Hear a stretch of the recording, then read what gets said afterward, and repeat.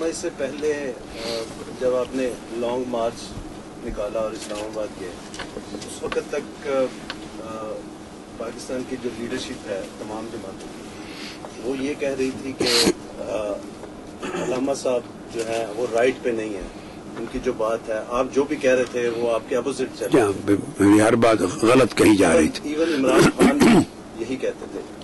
आज जब इलेक्शन के बाद इमरान खान की पहली आवाज़ ये थी कि डॉक्टर साहब सही कह रहे थे और ये बात सात मरतबा कह चुके। हैं जी।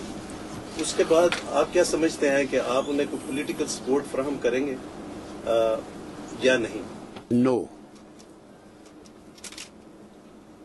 till he comes out of this corrupt political and electoral process मेरा तो एक बड़ा वाजे सा एक एक फिलॉसफी है। मैंने तो कह दिया कि ये पूरा निज़ाम करप्ट है।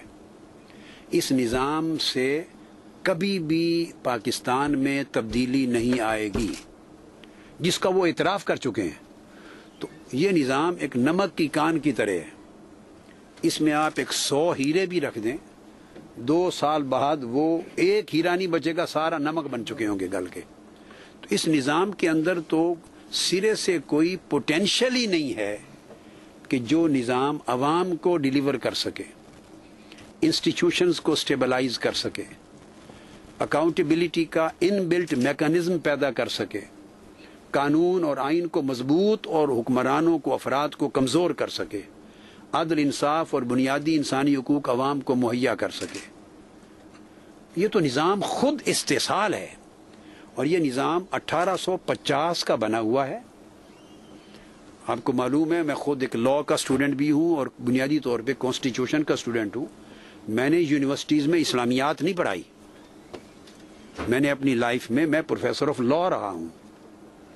गो मेरी गोल्ड मेडल हूँ मैं इस्लामिक स्टडीज़ में, मेरी स्पेशलिटीज हैं, मगर मेरी पीएचडी और फिर मेरा पढ़ाना, मैं तो एलएलएम तक को पढ़ाया एलएलबी को। जहाँ कोई आठ हज़ार, सात हज़ार वो कला इंक्लूडिंग जजेस मेरे शागिर्द होंगे तो मैंने कॉन्स्टिट्यूशन और लॉ पढ़ाया है। मैं आपको आइन और सियासत और कानून के एक तालब इम की हैसियत से बड़ी बसीरत के साथ कह रहा हूँ। कि इस निज़ाम के तहत इस तरह होने वाले इलेक्शन जब ये हो गए ना तो हर एक कह रहा है ना कि मैंने जो कहा सही कहा। पचास बार मजीद भी हो जाएँ, साठ साल, पचास, चालीस साल हो गए ना, चलो, आमिराना दौर के निकाल कर पचास बार भी इलेक्शन हो जाए तो आप वहीं खड़े होंगे, कोई तब्दीली नहीं आएगी। ये निज़ाम अंग्रेज़ों ने बनाया था, जब बर सग़ीर पाक को हिंद जो है, वो उनकी कॉलोनी थी, और उन्होंने ये 1850 में ये निज़ाम जो बनाया और ये मिनवन वही चला रहा है। बेसिक जो खद खाल हैं, ये उसी निज़ाम के वही हैं। और वो निज़ाम उन्होंने अवाम की एम्पावरमेंट के लिए नहीं बनाया था। अवाम को अदल और इंसाफ और ताकत और हकूक मुहैया करने के लिए नहीं बनाया था। वो एनस्लेवमेंट ऑफ़ पीपल के लिए बनाया था। To continue the enslavement of people लोगों की गुलामी, सियासी, समाजी माशरती माशी इकतसादी हमेशा कायम रहे और रूलर आराम से, रूलर ताकतवर हों अवाम कमज़ोर रहें और वो इकतदार करते रहें। उन्होंने अपने लिए बनाया था। अब उन्नीस सौ सैतालीस में वो चले गए, वही निज़ाम यहाँ दे दिया और वो निज़ाम पाकिस्तान में रहा आज के दिन तक इस निज़ाम से कभी भी आवाम को डिलीवर नहीं होगा। ये निज़ाम अशराफिया के लिए बनाया गया है, ख़ास तबके के लिए। इसमें ताकत का इरतकाज है, इख्तियारात का इरतकाज है, वसाइल का इरतकाज है। अब कोई साहब किसी के नारा लगाने से कि वी वांट चेंज तो इससे चेंज तो नहीं हो जाती। मैंने ये कई बार कहा कि आप एक मकान को देखते हैं कि बुसीदा हो गया और बिल्कुल गिर के तो रहने वालों को मार देगा, तबाह कर देगा और आप चाहते हैं कि इसको तब्दील किया जाए। तो उस मकान को तब्दील करने के लिए उस घर के अंदर बैठ कर नहीं कभी तब्दील होता। उसकी छत गिरानी दीवारें गिरानी है तो घर से बाहर निकला जाता है और फिर टक्कर मार के उसको गिराया जाता है। डिमोलिश किया जाता है नॉक डाउन किया जाता है। We need to knock down this system और इस सिस्टम के अंदर बैठकर, उसके फ्लोर पर बैठकर इसको नॉक डाउन नहीं कर सकते। तो वो तो कोई इसमें से जो जो कुतें निकलेंगी और इस निज़ाम से टकराने का अहद करेंगी to bring a radical and positive substantial change वही कुतें मिलकर किसी नतीजे पर पहुंचेंगी ना ये बात। इसके अंदर रहने रहने वाली कुतें तो इस निज़ाम का हिस्सा।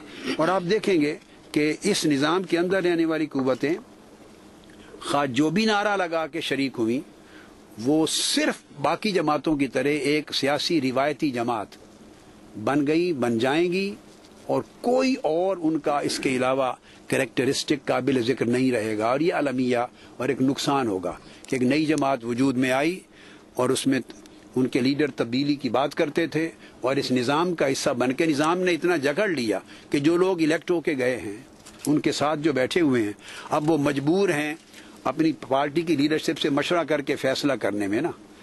तस्लीम कर लिया जाए फॉर एग्ज़ाम्पल के पार्टी के लीडर चेंज चाहते हैं।